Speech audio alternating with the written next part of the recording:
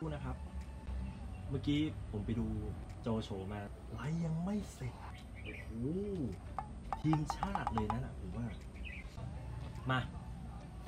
ตามคำเรียกร้อง วันนี้ผมจะมาสอนวิธีการถ่ายรูปต้นไม้ยังไง ให้เด่น ให้สวย โอเค พร้อม พร้อมนะครับ วันนี้เหยื่อของเราก็จะมีอันนี้เป็น a s t o a s i n เทคนิคอย่างแรก การถ่ายรูปถ้าโรงเรือนของท่าน เป็นสแลนดำหรือหลังคาเหมือนของผมเนี่ย ของผมเป็นเมทัลชีตขุ่นนะครับ หรือสแลนเงิน 3 อันนี้ท่านถ่ายในโรงเรือนได้เลย แต่ถ้าโรงเรือนของท่านเป็นสแลนเขียว เป็นสแลนสีฟ้าหรือว่าสีน้ำเงินน่ะควรเอาไม้ออกมาจากโรงเรือนก่อน เพราะว่าการที่ถ่ายรูปภายในโรงเรือนนะตอนนั้นน่ะ white balance มันจะเพี้ยน สมมติว่าถ้าไม้ของท่านเนี่ยเป็นสีเขียว นะเวลาสมมติถ้าถ่ายในสแลนสีเขียวปุ๊บมันก็จะเขียวอื้อเลยอันนี้อย่างเช่นเฮเลเล่นะครับสมมติถ้าถ่ายในโรงที่มันเป็นสแลนอะสีน้ำเงินปุ๊บอะถ่ายออกมาปุ๊บอะตัวเนี้ยมันก็จะติดฟ้าเลยเพราะว่าขาวเนี่ยเวลาถ้าเจออะไรมันก็จะเป็นสีนั้นนะครับฉะนั้นถ้าท่านถ่ายรูปสีอะไรปุ๊บเพี้ยนหมดเลย มันไม่ตรงกับสีจริงค่าจริง ถ้าท่านจะถ่ายรูปเนาะผมแนะนำให้ท่านอะถ่ายรูปช่วงประมาณสัก 6โมงเช้าจนถึง9โมง10โมงนะครับสี่ห้าโมงเย็นถึง6โมงเย็นนะครับการที่เราถ่ายรูปช่วงเที่ยงอะการที่เราเจอแสงแดดโดยตรงอะคือกล้องทุกกล้องไม่กระทั่งว่ากล้อง iPhone กล้องซัมซุงกล้องหัวเว่ยกล้อง oppo กล้อง sony อะไรก็ช่าง มันไม่สามารถที่จะสู้แสงอาทิตย์ได้นะครับสิ่งทุกอย่างมันจะเห็นเป็นมิติเดียว มันไม่สวยนั่นเองนะครับฉะนั้นถ้าเรารู้แล้วว่าเราควรถ่ายรูปช่วงไหนมันถึงจะสวยเราเอาช่วงนั้นมานะครับ ช่วงกลางวันหรือว่าช่วงเที่ยงเราไปทำงานอย่างอื่น แต่ว่าช่วงเช้าๆหรือว่าช่วงเย็นๆเราค่อยมาถ่ายรูป แสงตรงนั้นน่ะมันจะเป็นแสงกำลังพอดี เป็นแสงที่กล้องของเรา มันสู้แสงของพระอาทิตย์ได้ ต่อไปการที่เราถ่ายรูปพื้นแบ็กกราวด์ครับเราควรที่จะเคลียร์ให้เรียบร้อย ผมเห็นในกลุ่มหลาย ๆ ท่าน ผมเห็นในกลุ่มหลาย ๆ คน เวลาถ่ายรูปขึ้นมา มันจะเป็นประมาณนี้เดี๋ยวผมจะถ่ายรูปให้ดูอะมันจะเป็นประมาณนี้เห็นปะครับ เห็นปะฮะ เห็น background ไหมครับตรงนี้ก็จะเป็นยิม ตรงนี้ก็จะเป็นขาโต๊ะ ตรงนี้ก็จะเป็นโต๊ะ ตรงนี้ก็เป็นหินดินทรายอะไรพวกนี้มันลบไปหมดเลย ฉะนั้นรบกวนเคลียร์ background ให้สะอาดสะอาดนะครับ ผมจะเปลี่ยนเป็นมุมกดนะครับ อะผมจะเปลี่ยนเป็นมุมนี้ ฮะ? ดูดีกว่าเดิมไหมฮะ อันนี้คือรูปที่หนึ่งที่ผมถ่ายนะ อ่ารูปที่สองเป็นประมาณนี้ การที่ background มันหลังๆรกๆเนี่ยทั้งขาโต๊ะทั้งไม้ตัวอื่น ทั้งตอทั้งนู่นนี่นั่นน่ะถ้าเวลาที่เราถ่ายรูปมา มันลกหูลกตา No แล้วมันจะแย่งซีนพระเอก เราต้องการสื่ออะไร เราต้องการแอสโตรไฟตัมที่เป็นแม่พันธุ์แล้วมันมีดอก เราต้องการสื่อแบบนี้ แต่ว่าสิ่งที่เราถ่ายไปก็คือมีขาโต๊ะ มียิม มีตอ มีกระถาง มีอะไรไม่รู้ลบไปหมดเลย ไอ้พวกเนี้ยมันจะมาแย่งซีนพระเอกของเรา กลับกลายเป็นว่าถ้าเราถ่ายมุมกดอีกนิดนึงปั้งแบบนี้ โอเคไหมมันจะโอเคกว่า มันไม่มีตัวไหนที่มันมาแย่งสายตาของเราตัวเนี้ยพระเอกเด่นๆเต็มๆอะแล้ว background ของเรานะครับนะครับ มันไม่ควรที่จะเป็นแสงสว่างจ้าอะผมยกตัวอย่างเช่น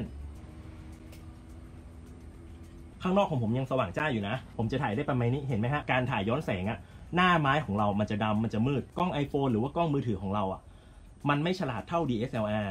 มันไม่ฉลาดเท่ากล้องตัว pro มันไม่ฉลาดเท่ากล้อง mirrorless มันไม่สามารถกำหนดได้ว่า อันเนี้ย มันเป็นแสงเข้ามันจะเยอะหรือว่าแสงน้อย ตอนนี้แสงมันเข้าเยอะเลย มันก็เลยหรี่รูรับแสงลง เพื่อให้ทุกสิ่งทุกอย่างอะมันอยู่ในค่ากลาง แต่ความจริงอะเราต้องการให้ต้นไม้ตรงนี้มันเด่น แต่ว่าแสงข้างนอกเนี้ยมันสว่างมากเลย รูรับแสงอะของกล้องอะมันก็เลยหรี่ลงเพื่อให้ทุกสิ่งทุกอย่างอะมันไปอยู่ในแสงที่มันค่ากลางฉะนั้น background ของเรา มันไม่ควรที่จะเป็น background ที่สว่างกว่าตัวแบบ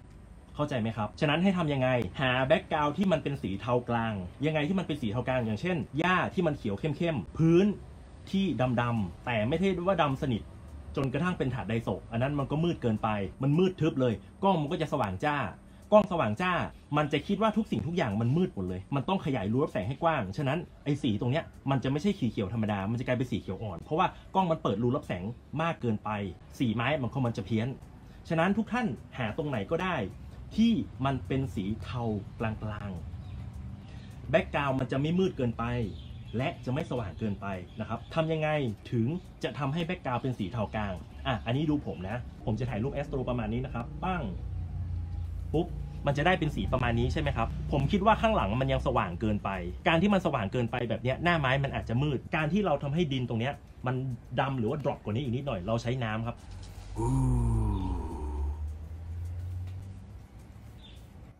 แล้วเราก็ถ่ายรูป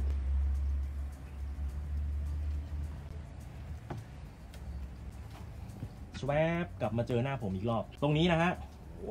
เดี๋ยวผมจะเอาโพสต์นะครับ เดี๋ยวผมจะเอาโพสต์หน้าเพจตรงนี้เลย มันจะมีรูปนี้เนาะ มันจะมีรูปนี้ เดี๋ยวผมเอาโพสต์หน้าเพจนะ ไอ้รูปแรกข้างหลังไม่มีน้ำนะครับ ผมจะพิมพ์มาว่าไม่มีน้ำนะ ไม่ลดน้ำก็แล้วกัน ต่อไปผมจะโพสต์ที่มันลดน้ำไป อันเนี้ยครับ ไอ้รูปเนี้ยผมลดน้ำไปนะ คือผมโพสต์อะรูปที่มันเป็นลดน้ำและไม่ลดน้ำไป ทุกท่านลองเปรียบเทียบดูว่าแบบไหนโอเคกว่ากันนะครับ อันนี้คือ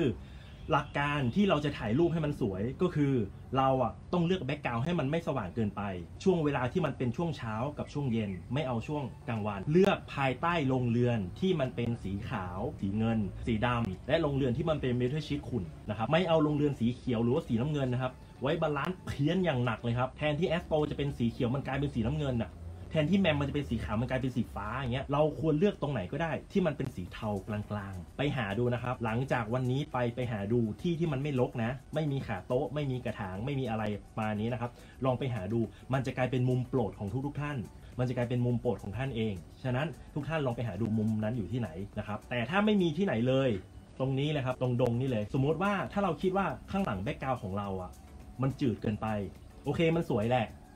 เอาน้ำรดไปละ มันกลายเป็นสีเทากลางละถ่ายออกมาโอเคมันสวยละแต่เราอยากให้มันมีรู้สึกว่ามี story เรามีเยอะนะประมาณนี้เราก็เอา background ที่มันเป็นเป็นทุ่งๆ แบบนี้เดี๋ยวผมจะยกตัวอย่างเดี๋ยวผมจะถ่ายให้ดูนะครับผมเปลี่ยนพระเอกเป็นตัวนี้นะ เดี๋ยวผมจะถ่ายพื้นก่อนนะ ที่มันเป็นที่ผมลดน้ำก่อนนะครับ ผมถ่ายได้ประมาณนี้นะครับโอเคพระเอกมันเด่นมากมันสวยคือมันละลายหลังเลยแหละ แต่ว่ามันไม่มีสตอรี่ ถ้าเราอยากให้มันมีสตอรี่ทำยังไง เราก็เอาไอ LB ตรงเนี้ยครับ มาเป็นโฟกาวข้างหลังเนี่ยให้มันเป็นแบ็กกราวตัวไหนที่มันไม่เข้าพวกนะเอาออกนะครับ ถ้ามันเป็นยิมให้มันเป็นดงยิม ถ้ามันเป็นดงมาตูกาน่าให้มันเป็นดงมาตูเลย ถ้ามันเป็นดงแอสโตรให้มันเป็นดงแอสโตรเลย ทุก ๆ อย่างที่มันเป็น background เนี่ยควรที่จะเป็นไม้ชนิดเดียวกันอะประมาณนี้ อันนี้ความจริงอะผมไม่ควรที่จะถ่ายเส้นถ่ายแบบนี้นะครับ อันนี้มันก็มาแย่งซีนมันรกสายตาทำให้พระเอกของเราอะไม่เด่นเท่าที่ควร ฉะนั้นทุกท่านอะหามุมมุมหนึ่งที่ที่มันไม่เห็นรอยเส้นถ่ายแบบนี้นะครับ อันนี้คือเวลาผมถ่ายรูปอะผมถ่ายให้มันมี storyคือถ่ายให้ background ข้างหลังอะเป็นดงยิมเอานะเดี๋ยวผมจะโพสต์นะเดี๋ยวผมจะโพสต์นะเอาเอาโพสต์ว่าไงดี ไม่มี story ดีกว่าเนาะและอีกอันนึงผมจะโพสต์คำว่ามี story ดีกว่าอะผมโพสต์ไปละเรียบร้อย ฉะนั้นสมมุติว่าไลฟ์เนี้ยสมมุติถ้าผมไลฟ์จบปุ๊บ ทุกทุกท่านไปดูเนาะว่าแบบไหนมันสวยกว่ากันนะครับ ฉะนั้นเทคนิคการถ่ายรูปอะมีไม่ยาก